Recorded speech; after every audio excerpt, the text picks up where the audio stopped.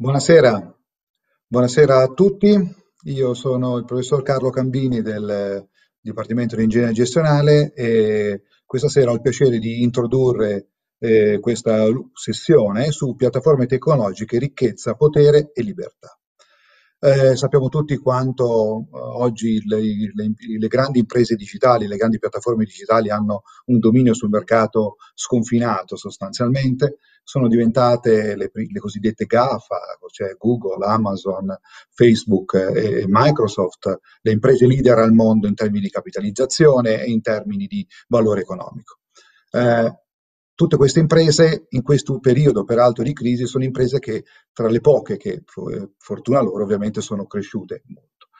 Allo stesso tempo c'è una cosa molto importante che è da dire, che negli ultimi tempi eh, le istituzioni europee, ma anche quelle americane, hanno cominciato a, a, cercare di capire tutto questo grande potere di mercato da dove derivava e hanno aperto tutta una serie di casi antitrust nei confronti di queste imprese. Non ultimo, Poche settimane fa, mi pare addirittura la scorsa settimana, la Commissione europea ha aperto un caso contro Amazon.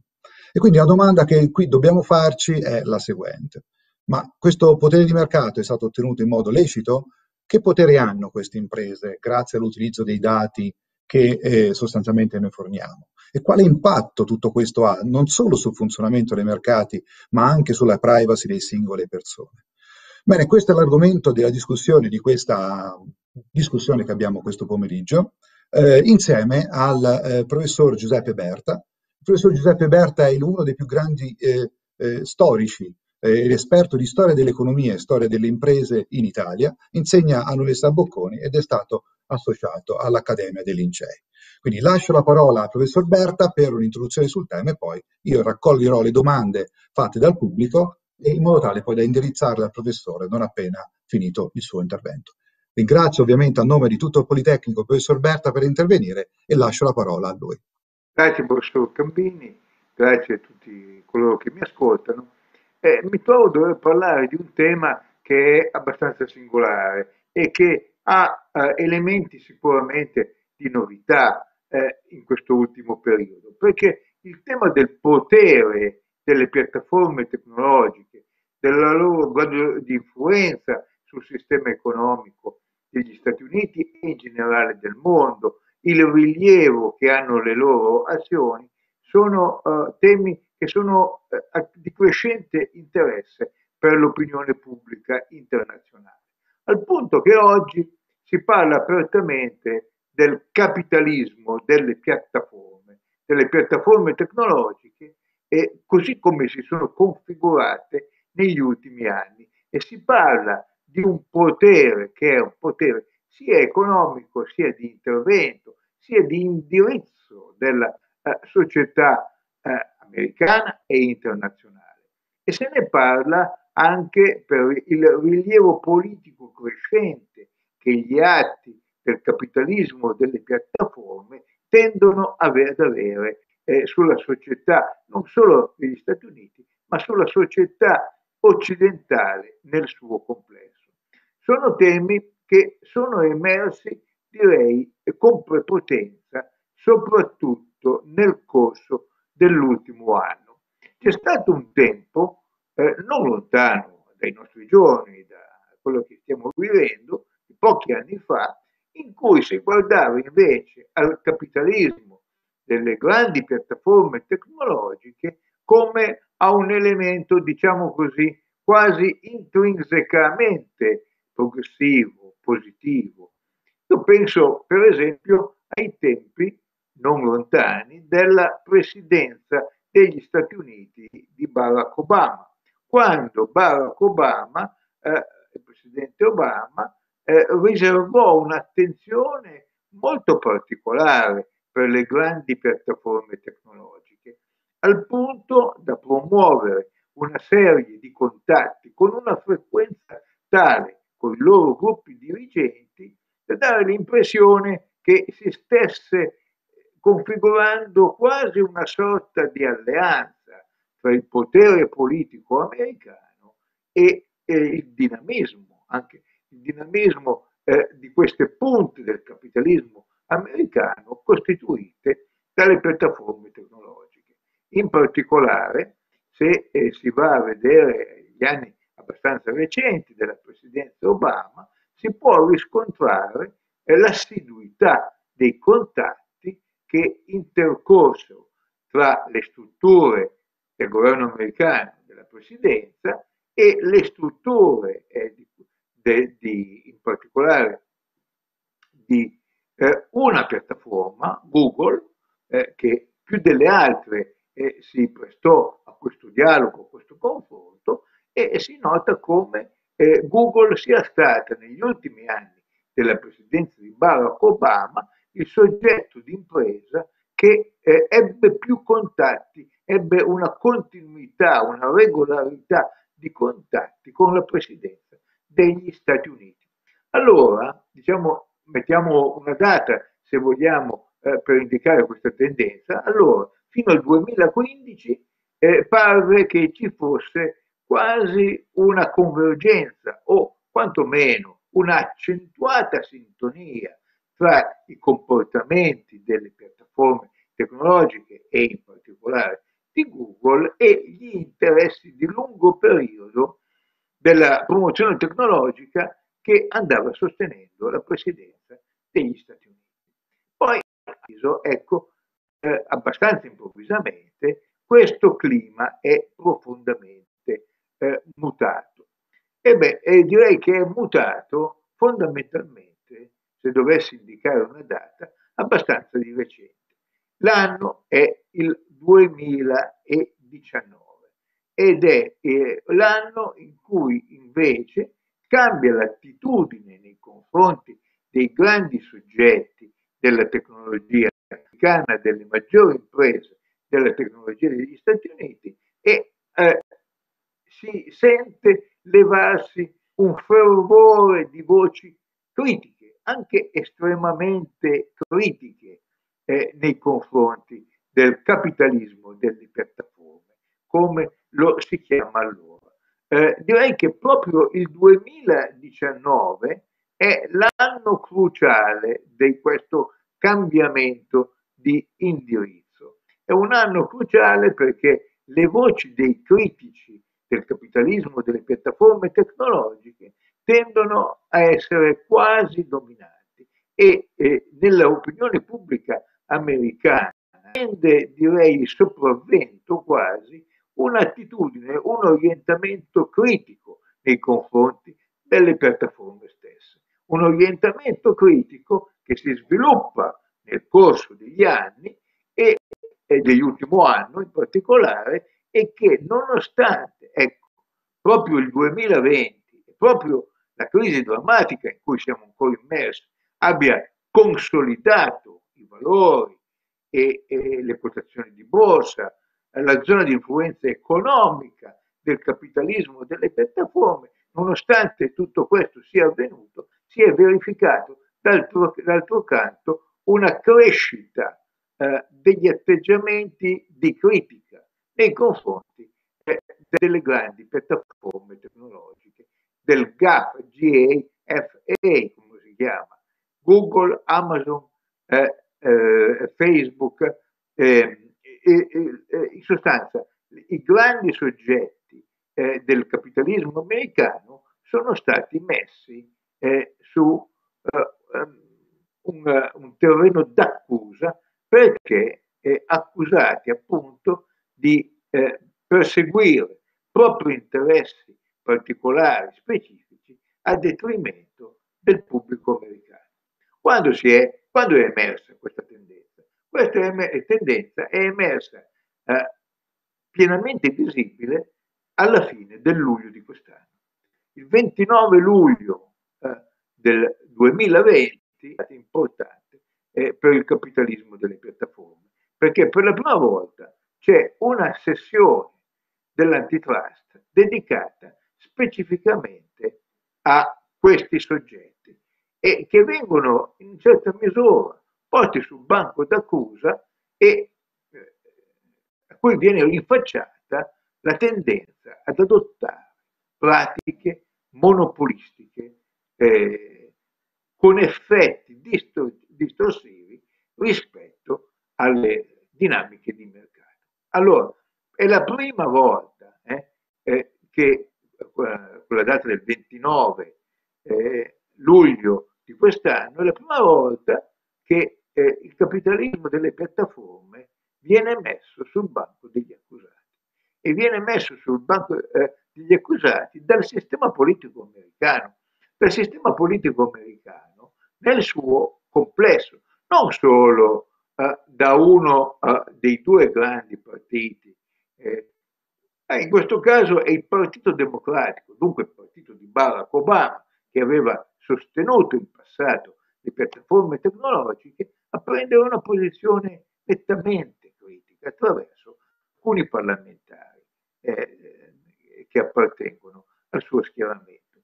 Nel medesimo tempo, va detto, eh, i eh, repubblicani non si distinguono per un atteggiamento più tollerante, più comprensivo, meglio disposto, diciamo così, nei confronti del capitalismo delle piattaforme, perché eh, non, non, si schierano eh, o non tendono ad avere una posizione maggiormente disponibile nei confronti di queste grandi imprese. Il motivo è molto semplice. Eh, il capitalismo delle piattaforme è largamente identificato con il Partito Democratico. Che, eh, insomma, si pensa che i soggetti principali che danno vita al capitalismo delle piattaforme e ne dirigono gli orientamenti sostanziali abbiano una netta propensione a favore del Partito Democratico. Allora, a leggere la cronaca di quella giornata, peraltro inconcludente, perché non è successo nulla, almeno fino adesso. Può darsi naturalmente che qualcosa capiterà eh, di qui ai prossimi mesi. Sembrerebbe che nell'estate scorsa nessuno dei due grandi partiti americani, pur radicalmente divisi su tutto dopo la presidenza di Donald J. Trump, che nessuno dei due grandi partiti sia disposto ad avere un atteggiamento di non solo accettazione, ma anche di comprensione per i motivi profondi del capitalismo delle piattaforme. Gli uni, i democratici, o almeno i democratici che prendono la parola quel giorno al congresso americano alla fine del luglio scorso, hanno parole piuttosto pesanti e accusano eh, l'elite direttiva del capitalismo delle piattaforme di eh, gestire le cose come vogliono e eh, di manipolare eh, la massa vastissima degli utenti delle loro strutture in modo da sfruttarne, da trarre un beneficio consistente. Eh, il Partito Repubblicano eh, adotta un orientamento diverso in quella sede. Il Partito Repubblicano si limita a sottolineare la sua distanza rispetto al mondo del capitalismo e delle piattaforme.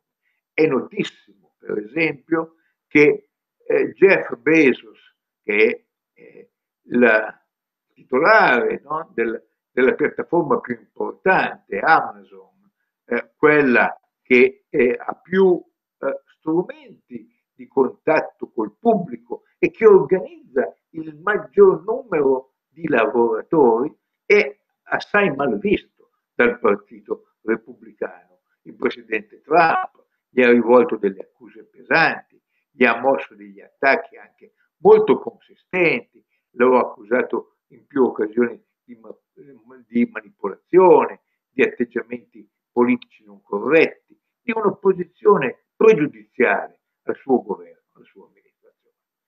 Eh, ma direi che eh, eh, in quella prima tornata di confronto, eh, la, eh, fondamentalmente eh, demo, sia i parlamentari democratici, sia più defilati naturalmente, i parlamentari repubblicani non mostrano molta comprensione eh, per il capitalismo delle piattaforme e per i loro esponenti, che dopo la breve pausa di crisi di eh, a seguito del coronavirus in primavera hanno ripreso a correre, le piattaforme hanno ripreso a correre eh, raggiungono nell'estate complessivamente una, un valore eh, di 5 mila miliardi di dollari, poi lo supereranno, abbiamo visto in questi mesi, anche se con tendenze non lineari, e c'è uno schieramento eh, però all'improvviso politico trasversale che critica eh, questo peso. Che, qual è l'accusa che si muove loro? Ecco, qui direi andiamo su un nodo sottilissimo. L'accusa è naturalmente quello di procedere a pratiche monopolistiche, cioè è il vecchio male del capitalismo americano che torna regolarmente sotto il fuoco dei riflettori dell'opinione pubblica, della politica, che vede nel capitalismo americano un soggetto il quale eh, sfrutta ogni varco per consolidare il suo potere e trarne vantaggio. Ma che cosa c'è che non funziona tanto? Tant'è che appunto questa riunione della fine del luglio scorso si conclude con un'audizione in cui i rappresentanti maggiori del capitalismo delle piattaforme prendono apertamente la parola e, e tuttavia non c'è un grande seguito e il confronto si chiude eh, quasi rapidamente come si è aperto con un rinvio. Qual è il punto che risulta problematico nella loro posizione? Sia per la loro difesa, ma soprattutto per l'accusa. L'accusa che gli viene mossa appunto è quella di eh, perseguire pratiche monopolistiche di vantaggio, agendo trasversalmente. Eh, le piattaforme unificano attività estremamente eterogenee tra di loro e si avvantaggiano appunto della possibilità di muovere contemporaneamente delle leve estremamente variegate, estremamente differenti. Eh, questa accusa però è, è difficile poi da sostenere utilizzando gli argomenti classici della critica antimonopolistica che ha una lunga tradizione nella storia americana dalla fine dell'Ottocento. Ricordiamo che lo Sherman Act è la pietra angolare eh, della politica antitrust risale addirittura al 1890, risale alle grandi battaglie, anche politiche, contro le cosiddette robber barons, cioè i grandi proprietari delle aziende dediti a, pra- dediti a pratiche monopolistiche che sfruttano uh, il ricorso sempre più vasto ai consumatori per costituire delle posizioni improprie di vantaggio. È dimostrabile che sia così nel caso del capitalismo e piattaforme. Eh, si può dire lo, di loro quello che si diceva negli anni 90 del, dell'Ottocento, nei primi anni del Novecento, eh, dei grandi eh, capitalisti che creavano gli immensi complessi siderurgici o i grandi trust eh, ferroviari, si può muovere loro lo stesso tipo d'accusa? Evidentemente no.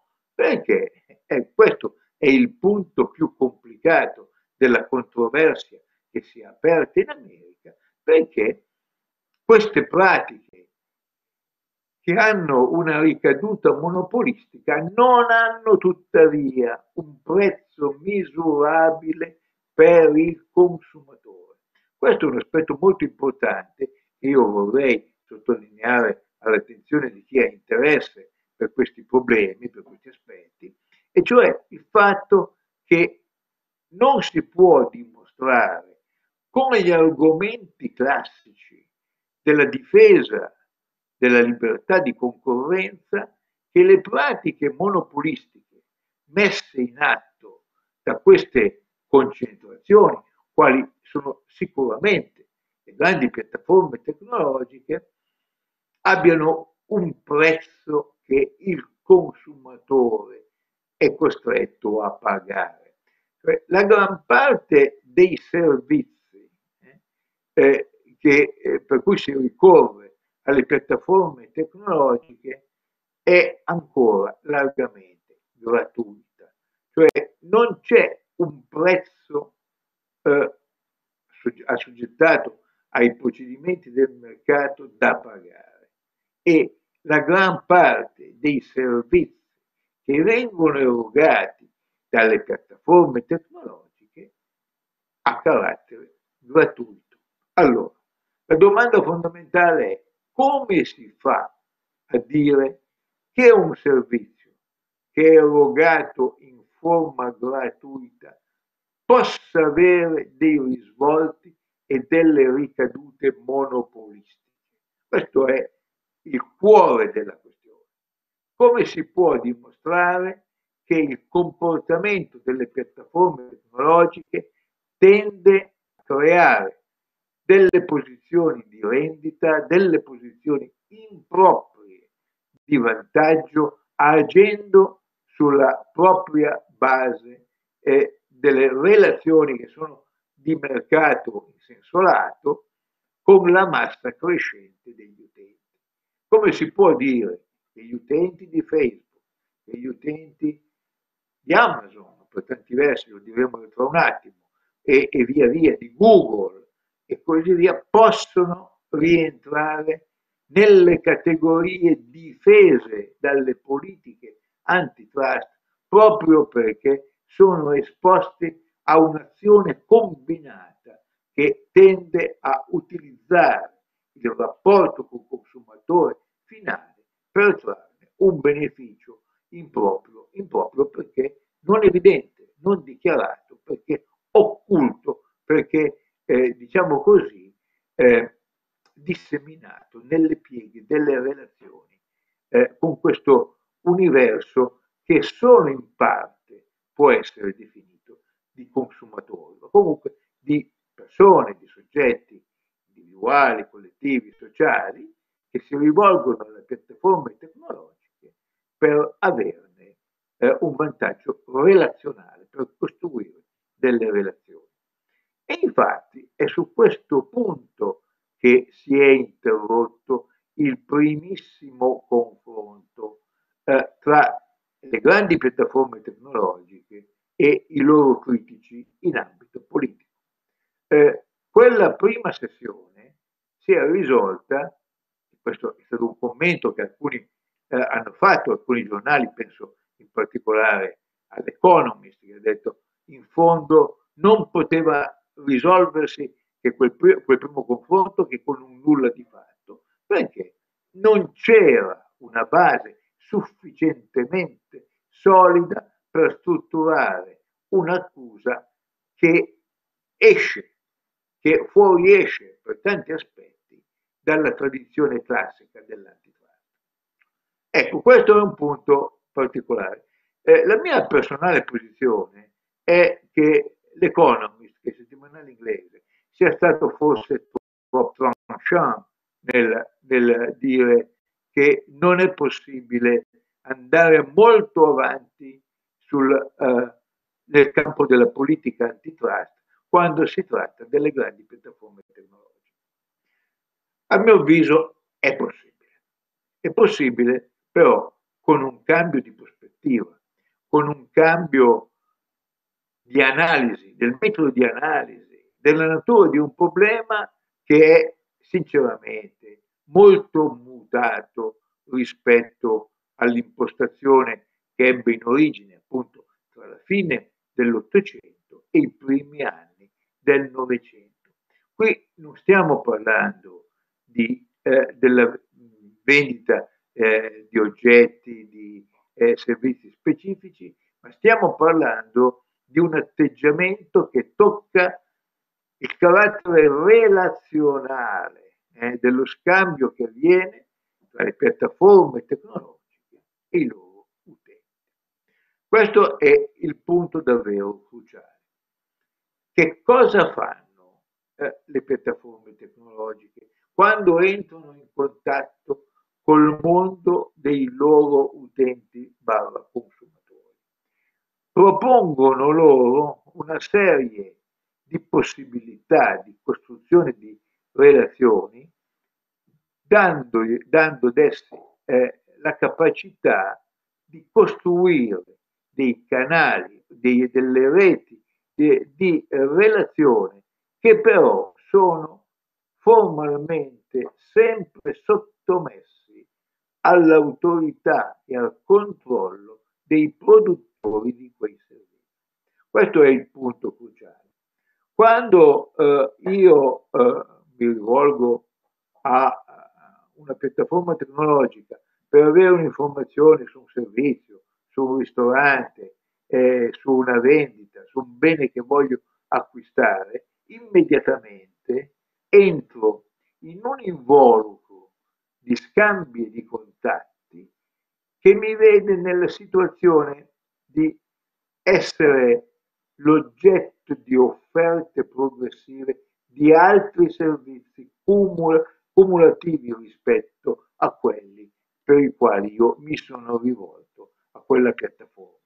Per cui eh, se io, la cosa più banale che può venire in mente, se io richiedo l'acquisto di un libro, mi vedo proporre dieci altri libri analoghi, oppure se io eh, eh, chiedo un'informazione relativa a uno spettacolo, vedo una serie di altri spettacoli e, di, e con informazioni su ristoranti, frequentazioni, eh, luoghi di incontro sono nella prossimità eh, di quello spettacolo che io voglio eh, vedere, di cui io voglio essere consumatore.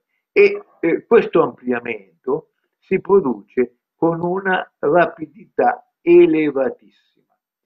In altri termini, la mia dimensione di consumatore risulta alla fine quasi stravolta dalla massa di offerte connesse che io mi vedo giungere a casa sul mio cellulare, sul mio computer e così via, da operatori i quali hanno rapidamente una informazione molto articolata, molto complessa e molto dettagliata della mia posizione nella società, nel lavoro, in un sistema di relazioni eh, familiari o amicali e perciò fanno leva su quel complesso di riferimenti per propormi una sempre più ampia e variegata di servizi.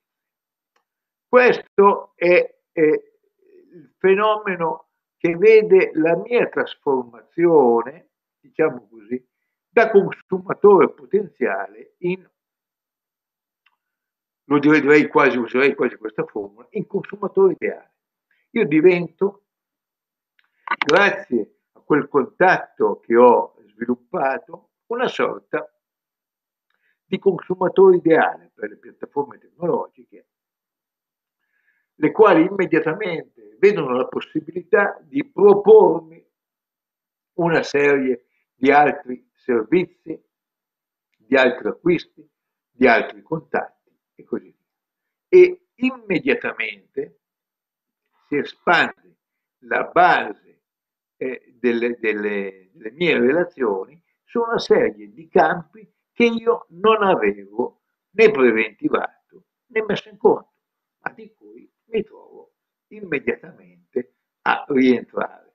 A rientrare si potrà obiettare se io ne voglio, cioè io devo sottoscrivere comunque un accordo con la piattaforma per rientrare in quelle forme di consumo. Ma non è propriamente così, perché eh, io scopro rapidamente che la piattaforma con la quale io sto dialogando sa di me molto più di quello che non solo io sappia eh, di lei, ma forse di quello che so di me stesso, delle, delle, delle miei usi, delle mie abitudini, anche delle mie frequentazioni, spesso spontanee, non governate da una logica precisa.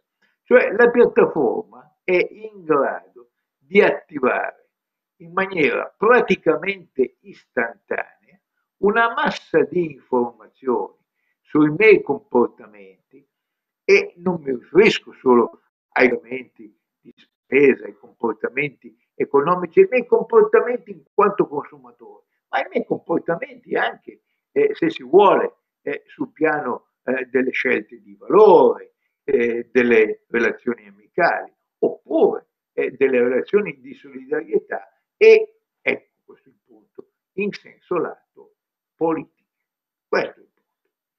Eh, io ho la possibilità di scoprire in brevissimo tempo che dopo aver acquistato un servizio, di aver comprato un libro, di aver prenotato un ristorante, di aver scelto uno spettacolo per il quale ho acquistato il biglietto, all'improvviso mi vedo giungere sul computer una massa di dati, di proposte, di elementi di offerta che mi catturano in una sequenza di comportamenti e di scelte che io non ho operato consapevolmente. E immediatamente mi ritrovo inserito in una sorta di comunità di microcomunità, nel caso specifico. Insisterei molto sull'elemento della micro relazionalità eh, di tutto questo, che da una parte ha lo scopo di, di assicurarmi, di farmi sapere che ci sono, c'è un grappolo di persone che non solo si comporta come me e condivide le mie scelte, ma che tende a servirsi di quel canale che ho appena utilizzato per a comprare le stesse cose e per adire agli stessi servizi.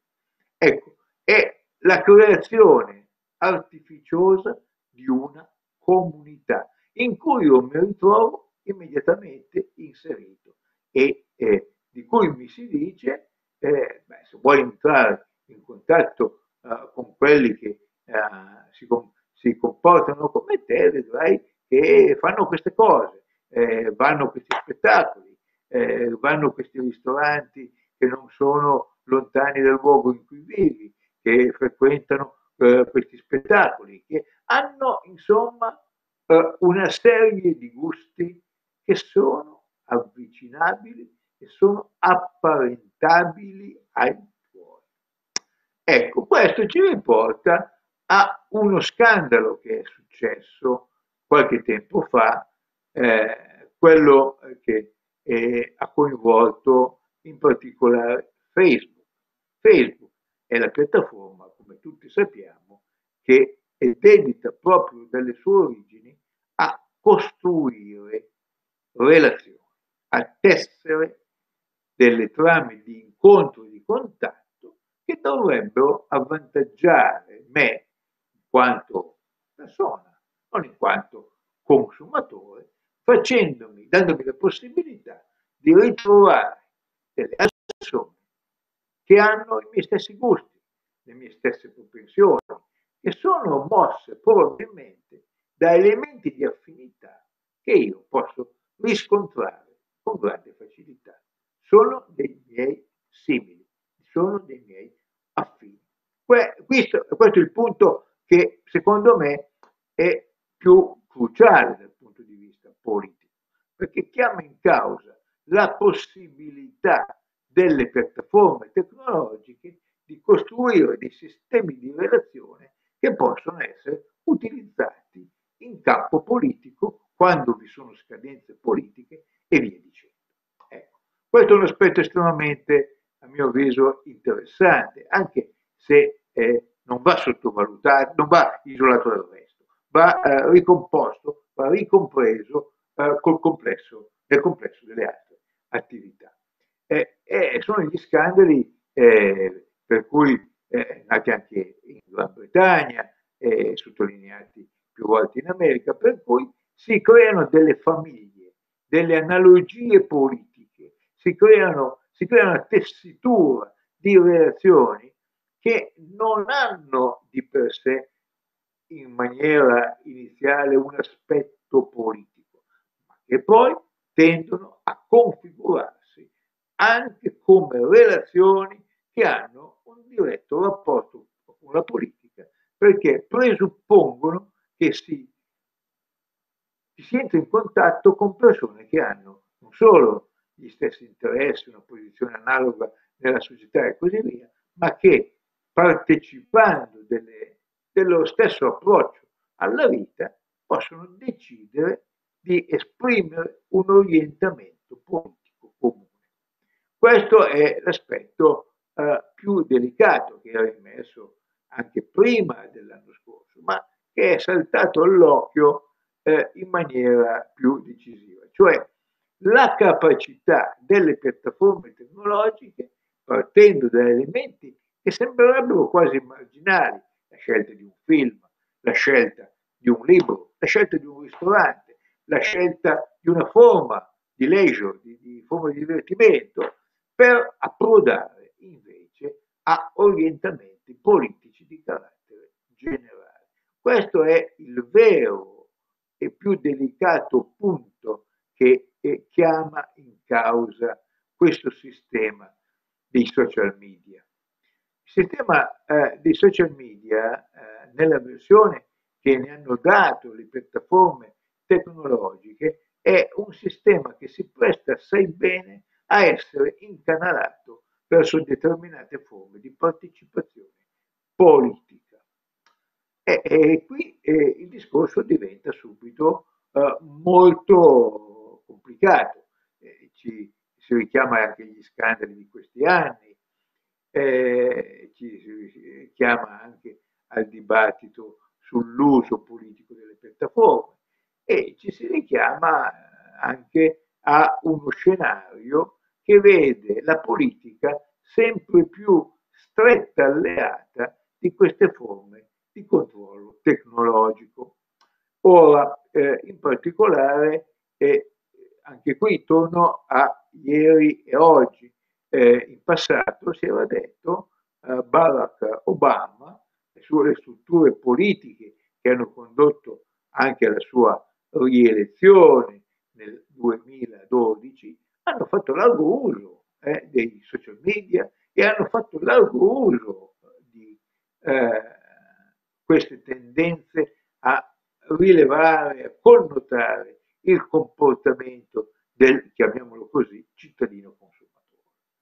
Eh, c'è una battuta che mi sembra sia riportata eh, nell'importante libro di Shujana Zuboff sul capitalismo eh, delle piattaforme, eh, che eh, dice che eh, i gestori di queste piattaforme sanno prima di te come tu voterai alle prossime scadenze elettorali. Loro sono in grado di orientare, dice una citazione celebre di un esponente di questo mondo, sono in grado di orientare il tuo voto prima ancora che tu pensi razionalmente a chi potresti assegnare la tua preferenza. Ora, io non vorrei sovraccaricare questa dimensione, ma certamente essa esiste. Essa esiste e si è visto che la predittività, il saper prevedere il comportamento politico è un grande attu nelle mani delle piattaforme tecnologiche. Esse sono in grado, attraverso l'analisi dei comportamenti delle, di milioni di che afferiscono le piattaforme, di influenzare almeno in parte l'orientamento politico e di saper indirizzare le loro scelte agendo appunto sulla costituzione di quelle microcomunità che citavo prima. Microcomunità che possono essere guidate, dirette, orientate, spinte quasi inavvertibilmente a riconoscersi in gruppi di opinione rispetto ai quali esse si sentono omogenee, in, almeno omogenee in larga parte. Questo è il punto vero, probabilmente, che colpisce di più e che, ecco, fa sì che con il capitalismo delle piattaforme, con questo nuovo tipo grande impresa fondata sulla capacità di entrare in contatto con un numero sempre crescente di persone, possibilità di orientare massicciamente il comportamento, le scelte politiche e anche, se volete, le inclinazioni complessive degli elettori. Naturalmente si può discutere molto lungo di questo, certo, ecco, questo è un punto decisivo, certo tutto questo conta e conta parecchio.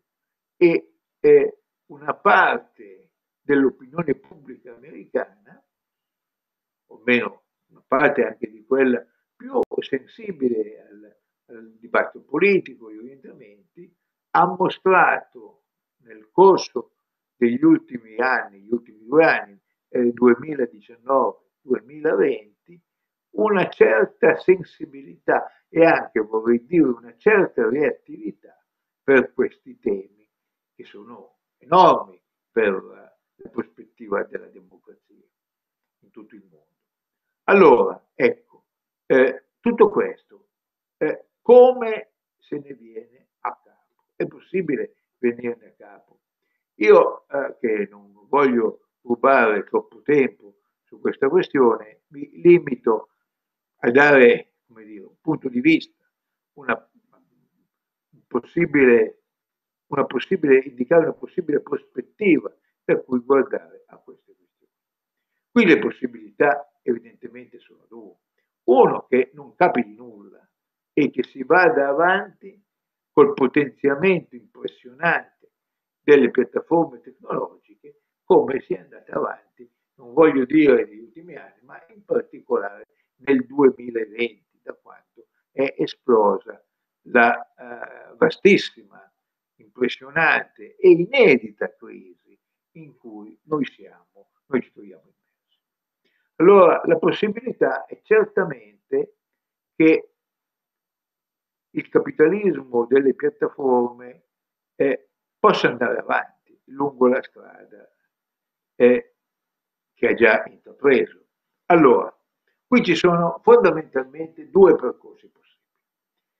Eh, tutti sappiamo che il capitalismo di piattaforme non è potente solo negli Stati Uniti d'America, non è potente solo nel mondo occidentale, ma sta diventando molto potente in Cina. E in Cina però, ecco, questa è la differenza profonda, c'è un sistema politico strutturato in un modo che non lascia che il capitalismo delle piattaforme occupi tutto lo spazio che potenzialmente sembrerebbe a sua disposizione.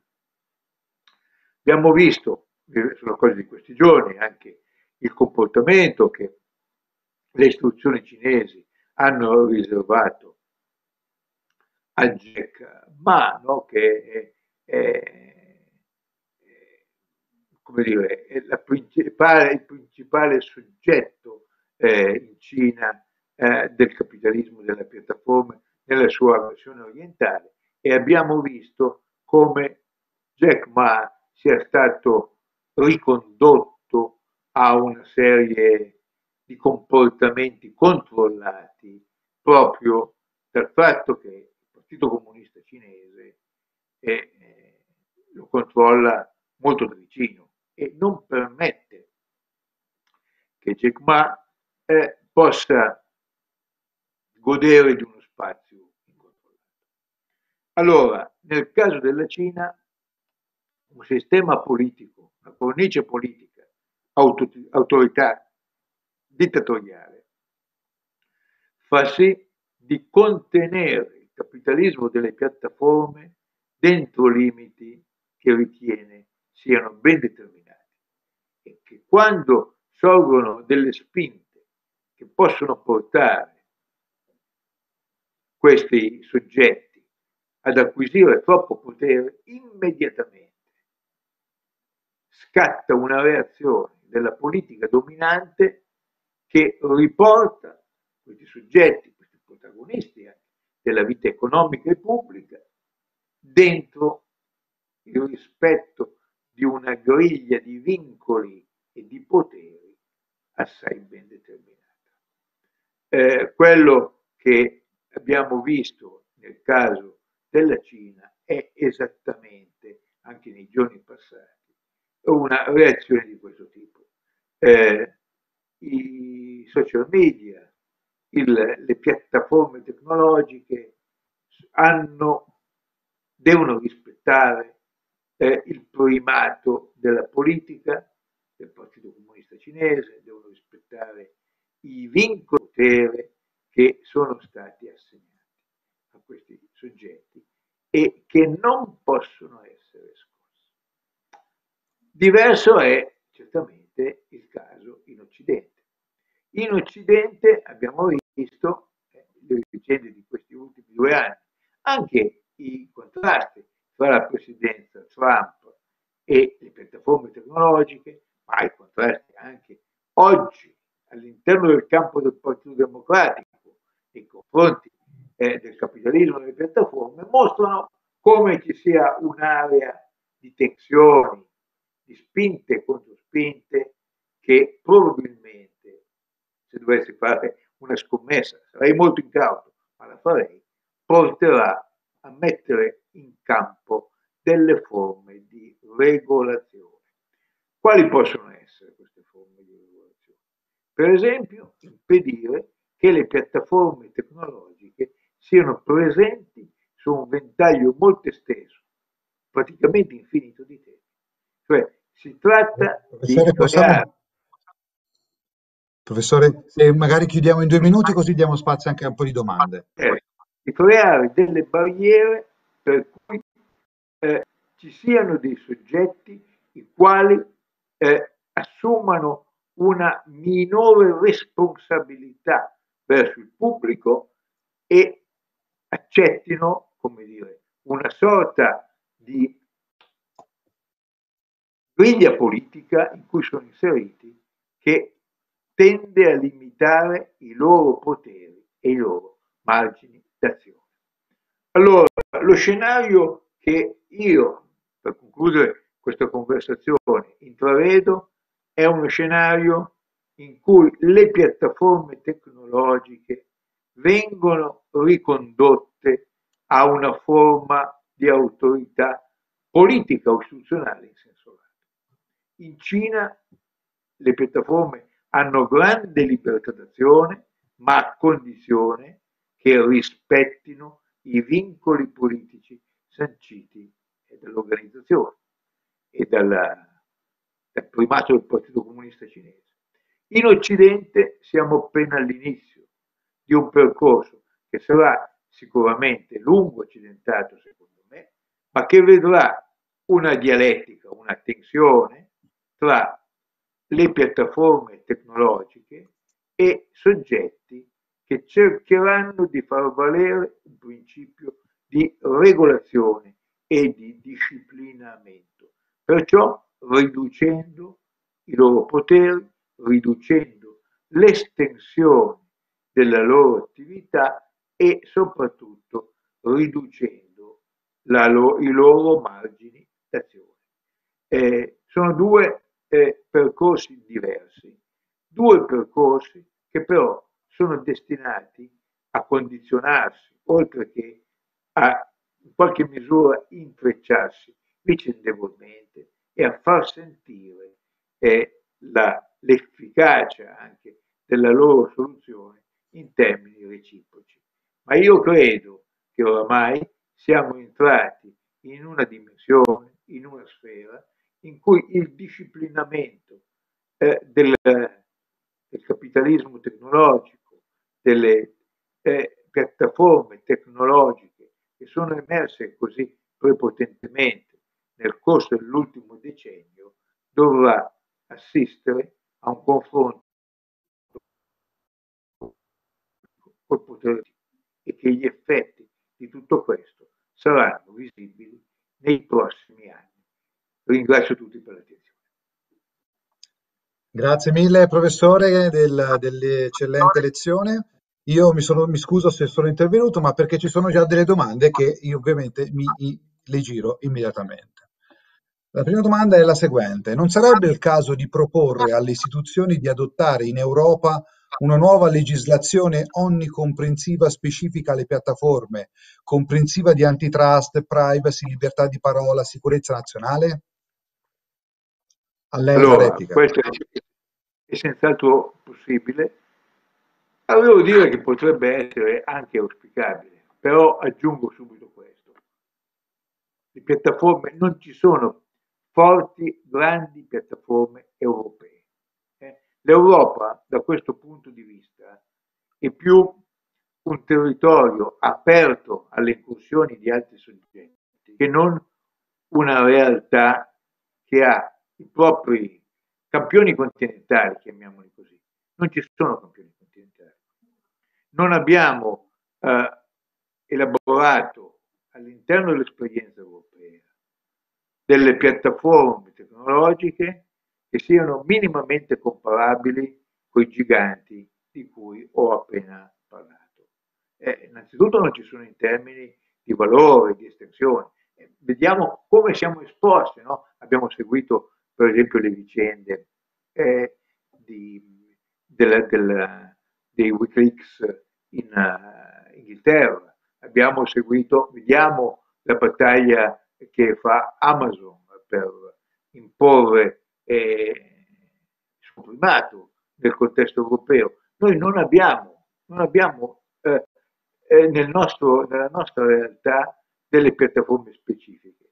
È chiaro che se giocheremo di rimessa, diciamo così, cioè se giocheremo eh, solo per limitare soggetti che hanno il loro territorio eh, primordiale in altre parti del mondo e che giungono all'Europa solo per sviluppare le loro politiche, è il nostro potere di intervento, temo, sarà inevitabilmente ridotto.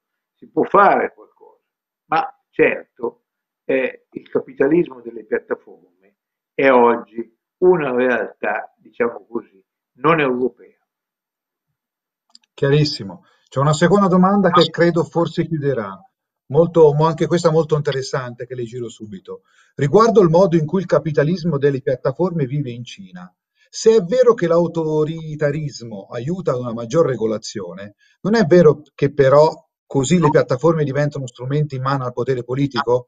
Secondo lei il controllo democratico nelle società occidentali può funzionare?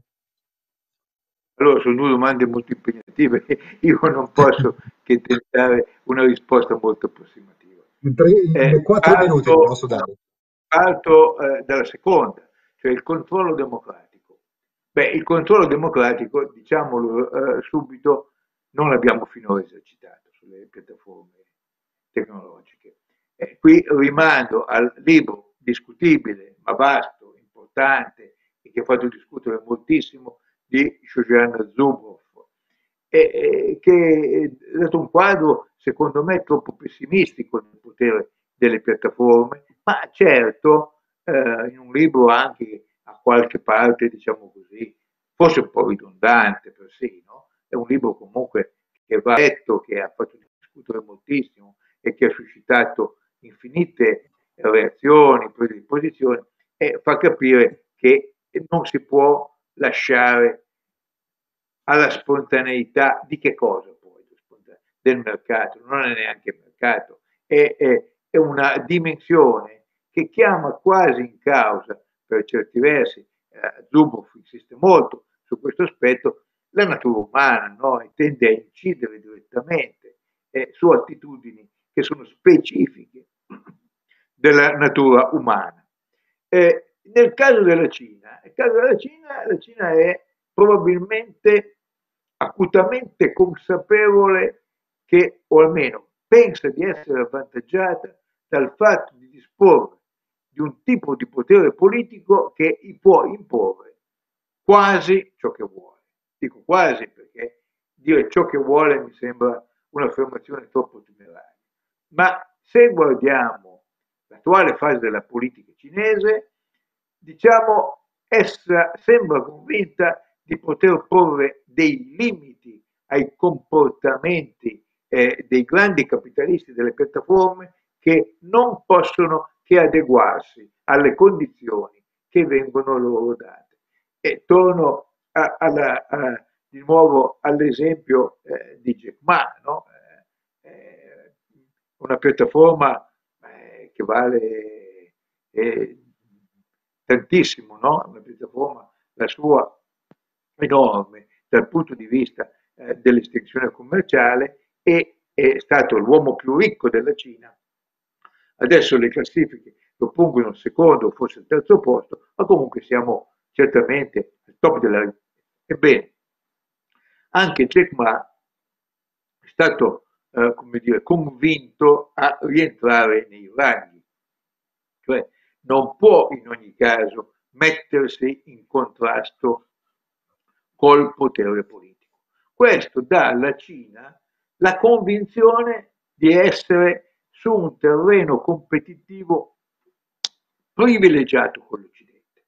Cioè la Cina è convinta che proprio perché non ci sono, come dire, le complicazioni della democrazia e, e, e come dire, la, l'articolazione dei poteri che è presente nella storia occidentale, essa ha un vantaggio. Il vantaggio è di poter ordinare i livelli di influenza con la propria autorità politica e è quasi storica, perché lì è una Cina che non è solo la Cina eh, del 1949 in poi, del potere comunista, ma è una Cina millenaria che è abituata col sistema imperiale a disciplinare i comportamenti economici. Ecco, la Cina ha in questo momento, per quello che io posso intendere, una grandissima fiducia in se stessa e pensa di essere in larga parte aliena o esterna ai sistemi di influenza occidentali, no? di non dover fare i conti